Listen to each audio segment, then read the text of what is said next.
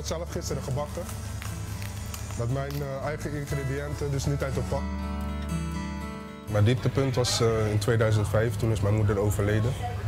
Ja, zij was echt gewoon alles voor mij. Ze was eh, niet alleen mijn moeder, maar ook een hele goede vriendin voor mij. En ja, toen zij is overleden, is het eigenlijk allemaal ja, verkeerd gegaan met mij. Ik ben op straat beland, ik heb zes maanden geen, geen uitkering gehad. Het moment dat eh, Carlos in contact is gekomen met Riyad, dat was natuurlijk toen hij nog eh, opgenomen was. Dus in, vanuit de klinische setting had hij dagbesteding nodig. Dat heeft hij bij Riyad groep kunnen vinden. Nu woont hij zelfstandig begeleid en is hij toe aan een stap verder. En heeft nu het beroepsmatige traject. En dat houdt in dat we dan echt gericht gaan kijken buiten de organisatie, extern vrijwilliger, waar hij gewoon binnen kan komen als Carlos en niet als cliënt in een veilige omgeving.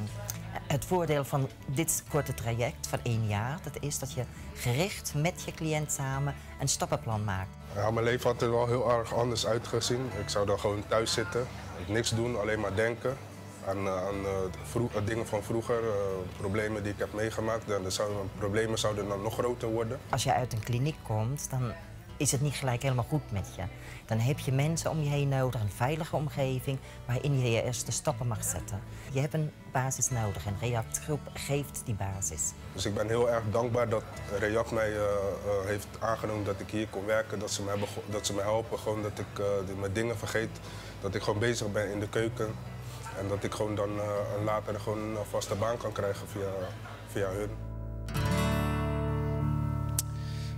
Paul Blokhuis, die is hier aangeschoven. Welkom, wethouder in Apeldoorn. Er komt veel op de lokale positie af. De gemeentes die eh, worden in positie gebracht, zoals het dan mooi heet. Wat betekent dat concreet voor een wethouder in Apeldoorn? Nou, wat er gebeurt, eh, komt niet als een verrassing. Hè? Gemeentebesturen die zeggen van, help, wat gebeurt hier? Die zou ik van harte welkom willen heten in 2013. Eh, zeggen van, kom onder die steen vandaan. Eh, want dit zit er natuurlijk al heel lang aan te komen. Wat wel ingewikkeld is, is dat eh, kabinetten soms de onhebbelijke neiging hebben om te vallen. En dat je dan aan het Nou, voorbereiden vind, vind ik ook niks hoor. Ja, nou, ik had wel begrepen van de huidige premier, dit is een van de beste naoorlogskabinetten. Eh, dus dat gaat wel goed komen voorlopig. Nou, een historicus trekt die conclusie meestal achteraf, maar goed. Jij bent historicus, heb ik begrepen. Ja. Dat, maar dat, dat ben ik ook. Maar jij hebt middeleeuwse geschiedenis gestudeerd en ik contemporaine. Dat is, eh, nee, Dat is meestal het verschil. Ja. Ga verder. nee, ehm, we dwalen af. Ehm, het, het komt natuurlijk niet als een verrassing op gemeente af. Alleen eh, wat voor gemeenten wel heel ingewikkeld is. Wij zijn heel erg aan het voorbereiden. Wij zijn al in de WMO, eh, wat we noemen, aan het kantelen. Dus die keukentafelgesprekken voeren wij al met mensen vanuit een heel andere houding dan aan het begin van de WMO in 2007. Wat wel heel ingewikkeld is, is dat wij eh, voor een deel nog niet weten wat we moeten gaan doen. Kijk, vorig jaar was er een wettekst, die is weg. Komt een nieuwe wet. Maar die is op zijn vroegst pas volgend voorjaar klaar. Volgend jaar zomer. Terwijl wij in 2015 wel die nieuwe klanten eh, gaan eh, helpen. En daar, daar ben ik ontzettend gemotiveerd voor. Het gaat om de inwoners van Apeldoorn in mijn geval. Wij weten dat het om ongeveer 2600 mensen gaat. Als je het hebt over begeleiding. Eh, ik, wil, ik ben heel gemotiveerd om die mensen een goede plek te geven. Dan moet ik wel weten welke condities daaraan verbonden zitten. En dat is wel het lastige. Wij zijn aan het schakelen.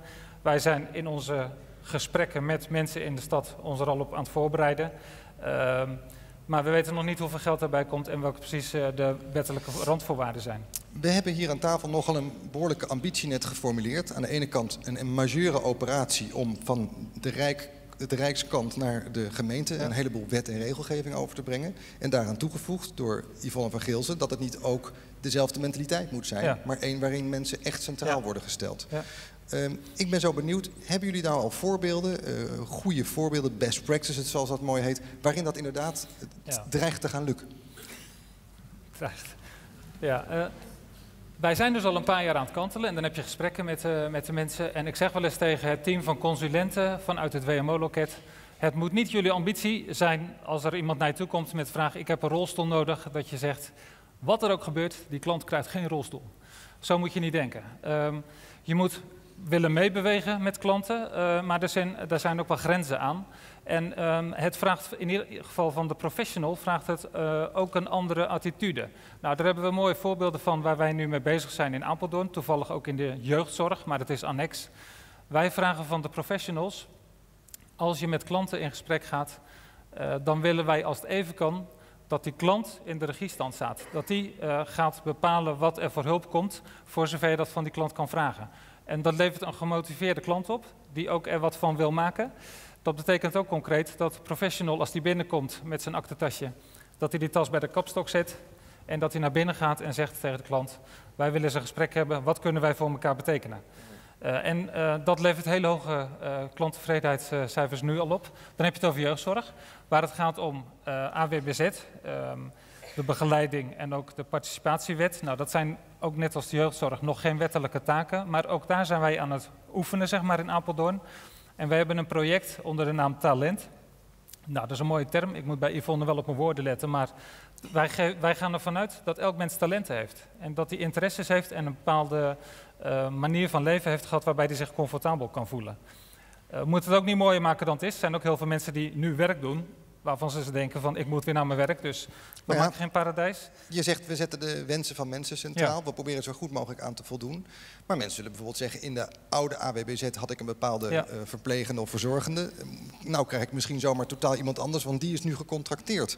Of uh, ik had altijd uh, via de WMO recht op een bepaalde huishoudelijke hulp en nu ben ik lager geïndiceerd of ik heb er opeens geen recht meer op ik, ik, ben toch wel benieuwd hoe jullie dat soort van uh, uh, uh, gevoelens oplossen. Nou, dat eerste dat gaat nog een stap te snel, want wij zijn nu nog niet in de positie als gemeente om te zeggen van vergeet het maar, jouw huidige aanbieder raak je, je kwijt. Wij willen wel graag mensen daarop voorbereiden dat dat kan gebeuren. En dat geldt voor klanten en hun familie en hun kennissen. Dat geldt ook voor de aanbieders want ik kom nog wel aardig wat aanbieders tegen die zeggen van er staat toch wel wat te gebeuren. Moet flink bezuinigen, wij weten wel waar het gehaald kan worden. En dan wijzen ze naar een collega die het geld verjubelt of zo. Terwijl ik denk, um, jullie moeten als organisatie zelf ook nadenken over hoe je het anders gaat doen. En niet meer als vanzelfsprekend ervan uitgaan dat de huidige klanten die je hebt, dat je die blijft houden, omdat die zo bijzonder zijn. Maar dat betekent ook dat je als gemeente zegt, wij kiezen niet alleen maar voor de laagste prijs, maar wij willen ook een bepaald soort kwaliteit. En dat ja. is natuurlijk de les van de WMO. Ja, dat klopt. Um, wij worden wel geconfronteerd met een uh, budgetkorting. Ik zou trouwens daar nog wel eens de goede onderbouwing onder willen zien. Dus uh, een vraag aan de staatssecretaris. Nou, die zit hier toevallig. Ja, verzorging uh, gaat 15% af. Ik wil u niet op foute gedachten brengen dat daar dan ook 25 af kan. Maar waarom daar dan 15 en bij begeleiding 25? Daar zullen best wel goede gedachten aan ten grondslag liggen. Maar dat is, maakt een beetje een arbitraire indruk. En die korting wordt niet alleen toegepast op, de, op de toekomst op dit moment wordt er al gekort. Het vervoersbudget AWBZ is dit jaar al gehalveerd. En daar gaat dan die korting nog overheen. Dus wij moeten het min minder doen. We gaan daar ons stinkende best voor doen. En we willen daar echt de klant bij centraal stellen. Maar uh, hoe, je dat, hoe je dat exact vorm moet geven, um, dat is voor ons nog echt oefenen. Het project Talent, waar ik het net over had, gaat ervan uit dat mensen heel veel in de mars hebben. En wij hebben daar een soort drietrapsraket in georganiseerd. Wij zeggen tegen uh, mensen met wie we in gesprek zijn, wij vinden het fijn als u verbinding zoekt met mensen in de stad. Heel veel mensen hebben nu een individueel aanbod, komt één begeleider. Zeggen het zou toch mooi zijn als u andere mensen ontmoet, dus ook in een collectief. Daar gaat u koffie drinken. Ik zeg het even heel plastisch, maar voor het beeld. Daar kan u koffie drinken. Als u uh, wat uh, meer in uw mars hebt, als u wat kunt doen, zou u misschien ook koffie kunnen gaan schenken. En als het nog beter gaat, zou u misschien zelfs kunnen overwegen om koffie te gaan branden. En dan kom je op het voorbeeld uit het filmpje. Die meneer die aan het werk komt, vanuit een positie waarvan wij een paar jaar geleden nog dachten van... we zetten daar begeleiding op en we gaan pamperen en dat is een klant met een uh, zorgrecht, et cetera. Heel andere mindset. Nou hebben we ook geleerd vanochtend dat het soms ook gewoon heel simpel gaat om uh, financiële stromen. Ja. En als je die niet bij elkaar weet te brengen, dan kun je dit soort initiatieven heel moeilijk realiseren. Klopt. Want iedereen ja. zit toch weer in zijn eigen stroompje ja. uh, te rekenen. In hoeverre hebben jullie daar straks mogelijkheden om dingen te doorbreken? Als het gaat om zorgverzekeraars, als het gaat om lokale grote zorginstellingen, uh, geld vanuit het Rijk. Het, in één pot brengen waar je al die specifieke wensen toch op een goede manier mee kunt faciliteren. Waar ik mij als bestuurder van een, een, een, redelijk grote gemeente in ieder geval op verheug, is dat zorgaanbieders uh, naar de gemeente gaan kijken als een meer serieuze partner. Wij hadden altijd hele goede gesprekken, maar wij maakten maar zo'n klein deel uit van het zorgaanbod wat ze hadden, financieel gezien. Straks is dat 25 procent uh, volgens de brief van de staatssecretaris. Uh, en dan ben je echt een belangrijke speler, ook voor de zorgverzekeraars. Dus daar verheug ik me op dat wij dat gesprek dan gaan voeren. En ik zou graag een oproep willen doen, uh, eigenlijk aan de staatssecretaris, maar misschien ook wel over zijn hoofd heen. Al gaat hij daar niet over aan het Rijk in zijn geheel, de Tweede Kamer. Nou, zijn invloed gaat nee, dus, ver. Ja, nou, wat, wat, de ervaring van de WMO leert, is dat de regering een goed voorstel had Althans, dat viel wat op af te dingen. Maar dat vervolgens de Tweede Kamer dat op geloof 70 onderdelen gaat amenderen en de boel helemaal dichttimmert. Zodat de lokale overheid eigenlijk enorm wordt beperkt in mogelijkheden om dat te doen wat we nou willen doen. En onschot gaan denken, et cetera. Nou, misschien maar meteen even dan eh, naar de staatssecretaris uh, als, als waarschuwing die nu wordt afgegeven. Ja, nee, ik, ik, eh, ik onderschrijf dat wel. Uh, ik, ik, ik, zei net al dat een van de, denk ik, de, de moeilijkste klusjes die ik heb in, het, in, het, in het hele veranderingen die we nu met elkaar doorgaan, is dat er zorgen dat bij, bij zorgaanbieders en gemeenten voldoende vrijheid blijft om tot oplossingen te komen ja. die ook ruimte geven om lokaal heel erg maatwerk te leveren. Ja. En uh, kijk, het debat tussen van welke waarborging wil je wettelijk geven versus welke vrijheid moet je bieden om dat uh, te maken, dat is, dat is nog niet uitgevoerd. Dat gaat ook uh, nee. binnenkort plaatsvinden. Maar ik ben ervan overtuigd dat als je die andere manier van werken wil, zul je ook voldoende beleidsvrijheid moeten geven. Ja, misschien kan ik met een heel simpel ja, voorbeeld... En dan, Sorry, komt Yvonne. Voor, ja, ja. Yvonne, jij wilde nee, reageren? Ja, ik wil daar graag op reageren. Um, omdat ik denk, zolang je het blijft organiseren zoals we dat nu doen, krijg je dat niet voor elkaar. Uh, en ik denk dat je, uh, wil je die budgetten bij elkaar kunnen brengen, dan zul je iets moeten met persoonsvolgende financiering. Uh, omdat je dan de, de, de burger in staat stelt om zijn eigen oplossing te en realiseren. En met persoonsvolgend bedoel je dus dat wat de mensen nodig hebben eigenlijk bij elkaar wordt gebracht, desnoods vanuit die verschillende potjes, om dat mogelijk te maken. Ja. ja. Ja, ik, ik, even, om even uh, misschien wel een vraag, ook een opmerking. Volgens mij zouden we, ik, ik, ik, geloof ook niet en ik hoop ook niet dat u dat bedoelt. Wij zouden volgens mij een fout maken als wij zeggen van wij vervangen het huidige recht op zorg door een recht op een budget. Want dan doen we eigenlijk niks. Dan, dan, dan vangen we het bordje en dan komt nog niet die andere benadering nee. tot zijn. Nee, dat ben ik eens. Het maar, is wel zo dat je zegt van probeer nou de zorg uh, en andere uh, zaken hè, in het brede domein zo te organiseren dat het vervolgens niet zoveel uitmaakt uit welk potje het komt, want dat moet dan maar achter de voordeur geregeld uh, gaan worden. En daar moet voldoende beleidsvrijheid in zijn. Maar het is niet een automatisme dat je het uh, recht op zorg vervangt door een recht op een budget. Dat hoor ik u ook niet zeggen, maar toch even voor de duidelijkheid, denk ik. En nog nee, dat klopt. Ja, nou, misschien heel kort, uh, ook om dat te illustreren. Wij zouden graag als gemeente beleidsvrijheid willen hebben, zodat je bijvoorbeeld, waar nu nog een geldstroom is voor huishoudelijke hulp en straks voor begeleiding, je dat bij elkaar ja, kan voegen. En bijvoorbeeld tegen een gezin kan zeggen, met een autistische jongen die thuis woont, zeg je tegen de moeder, uh, wij geven u uh, uh, graag die jongen zeg maar, ter behandeling, dat u die jongen kan begeleiden, waar vroeger een professional op zat. Maar die moeder die moet daardoor in de huishouding wat minder, die moet daardoor veren laten in de huishouding. En dan krijgt u een budget om huishoudelijke hulp in te kopen. Dat, zodat je daarin gaat schuiven, in plaats van dat je in die kokers blijft denken. Goed. Dat, dat kan, straks. Dat kan straks, zegt de staatssecretaris. Ik hoop, dat, ik hoop dat de Tweede Kamer meeluistert. En de Tweede Kamer moet meeluisteren. Wij gaan even kort naar een filmpje kijken waarin we zien dat Kees zelfstandig kan uh, zijn dankzij uh, het openbaar vervoer en de middelen die hij daarbij uh, nodig heeft.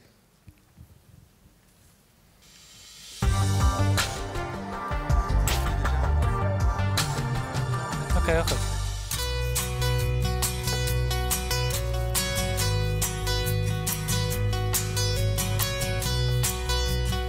36-jarige Kees Roodseler werkt op de dagbesteding van Midin in Zoetermeer en is actief lid van de Centrale Cliëntenraad. Ik uh, maak allerlei uh, productie voor de verkoop. Kees woont zelfstandig en om naar zijn werk te gaan neemt hij gewoon de tram. Anders dan moet ik steeds uh, gebruik maken van, van de regiotaxi. En nu kan ik gewoon helemaal zelfstandig met het openbaar vervoer.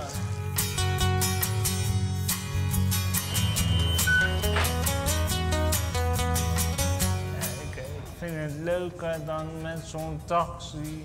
Omdat soms, uh, soms dan moet ik wel eens uh, heel lang wachten op de taxi. En dat vind ik... Uh, wel wel eens verve vervelend. En dan is dit eigenlijk wel een, een, De ideale uit, oplossing. een uitkomst. Wat is er voor nodig om, uh, om uh, met, zo, met deze metro mee te kunnen, met, uh, met vervoer, met je eigen vervoer? een een OV-chipkaart. Ja, maar wie regelt dat? mijn, mijn begeleidster.